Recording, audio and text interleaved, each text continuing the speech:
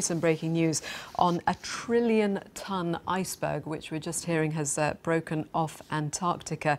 Um, this is the area that was uh, filmed recently. Uh, scientists have been monitoring uh, the crack that you can see there in these images for some time. Um, they had been expecting it to, to break away. They'd said it was inevitable.